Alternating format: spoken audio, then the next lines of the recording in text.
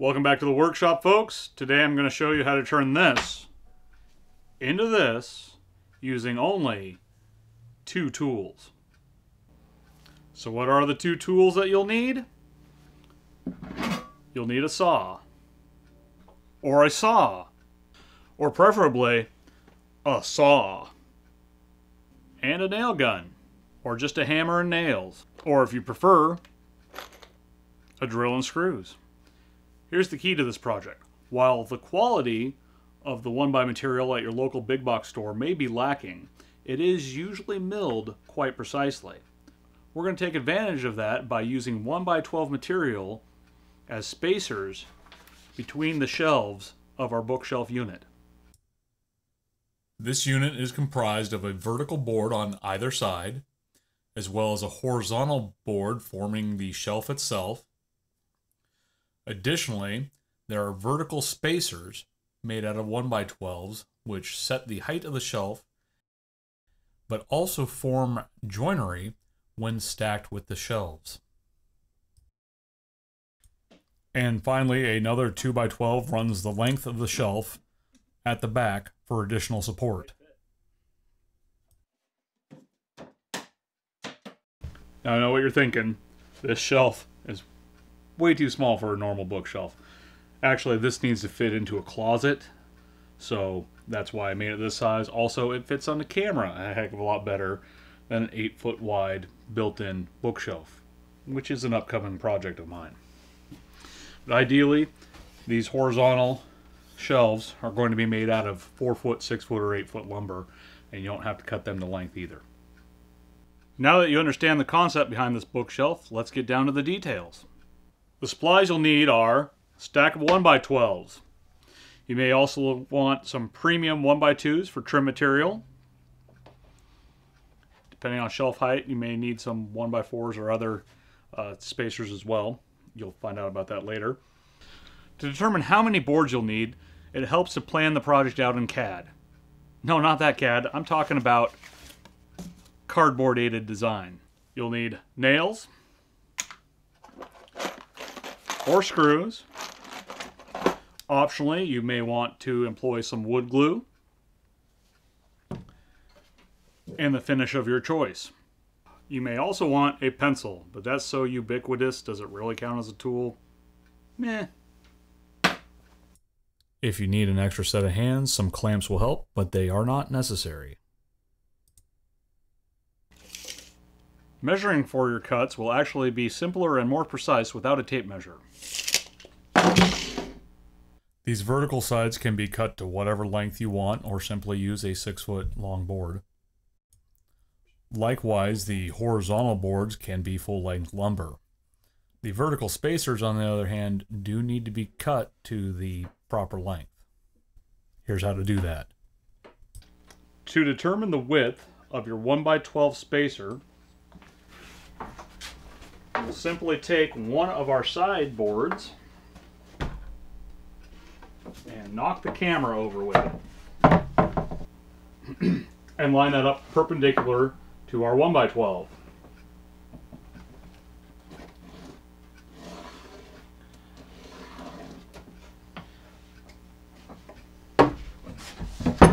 Marking that gives us a spacer exactly as deep as our shelves. However, we need to leave room for our back. To accommodate for the back support, we simply subtract the width of our 1 by material, which is 3 quarters of an inch, but again, we don't need to worry about tape measures or math. Just line it up perfectly with the other line. Scribe your new line and cross this out so you don't mistakenly cut on that line. Now that we have that measurement, we can set up our saw with a stop to repeatedly cut this width over and over again until we have enough spacers. Once you're at your saw, carefully line the blade up with your line, or alternatively, simply use a board for spacing, and then set up a stop block. This will allow for consistent repeated cuts. However, you probably do want to check against your actual project when you make that first cut.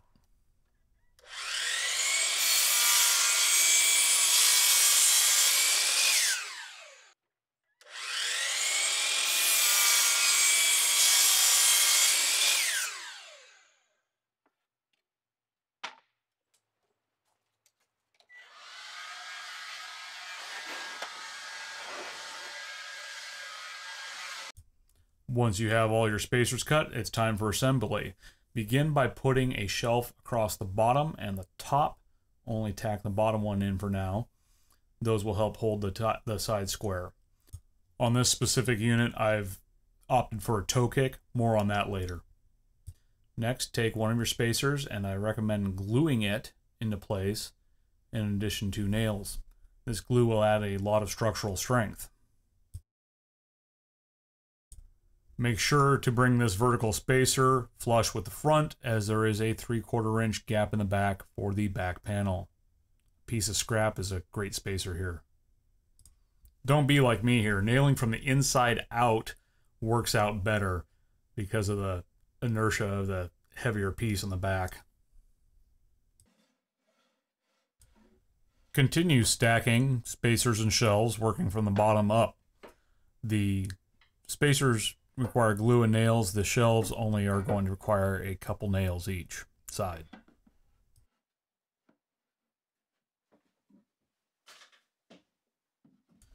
Once you've installed your spacers and shelves, you can install the back panels. You'll notice this is a nice tight fit because everything is cut precisely. These back panels, again, only need to be tacked into place with a few nails.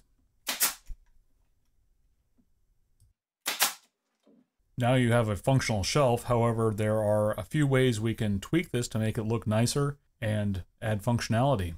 If a 1x12 does not give you enough shelf height, you can simply stack spacers to gain additional height. Here I've added a 1x4 so I can fit 1 gallon jugs on this bottom shelf.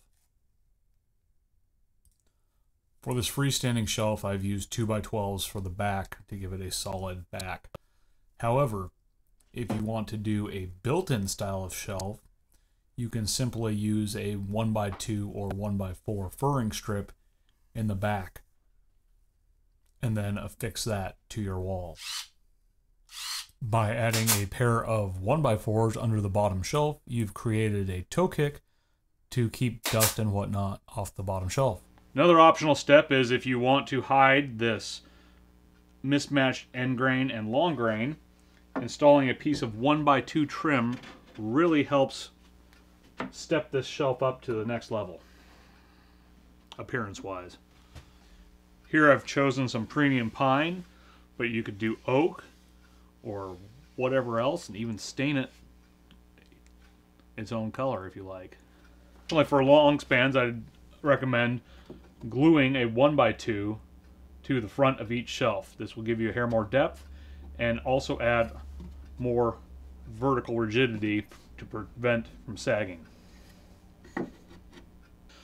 For long spans with a 6 to 8 foot board, I also recommend putting the same 1 by 12 spacers in the middle for additional support. These can then be trimmed out with 1 by 2 And finally, you can complete your project with the finish of your choice. Here I'm simply using boiled linseed oil. Thanks for watching, folks. I hope this was helpful to some of you out there. It's a great beginner project or for anybody who wants to quickly and easily build a bookshelf.